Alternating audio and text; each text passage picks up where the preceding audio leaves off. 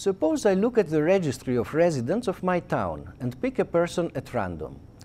What is the probability that this person is under 18 years of age? The answer is about 25%.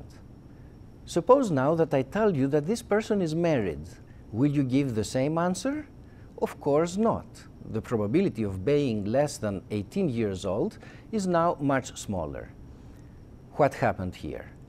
We started with some initial probabilities that reflect what we know or believe about the world. But we then acquired some additional knowledge, some new evidence, for example, about this person's family situation.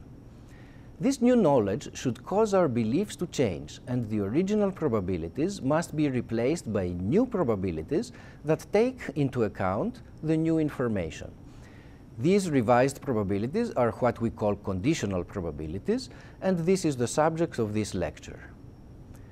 We will start with a formal definition of conditional probabilities, together with the motivation behind this particular definition. We will then proceed to develop three tools that rely on conditional probabilities, including the Bayes rule, which provides a systematic way for incorporating new evidence into a probability model. The three tools that we introduce in this lecture involve very simple and elementary mathematical formulas. Yet they encapsulate some very powerful ideas. It is not an exaggeration to say that much of this class will revolve around the repeated application of variations of these three tools to increasingly complicated situations. In particular, the Bayes rule is the foundation for the field of inference.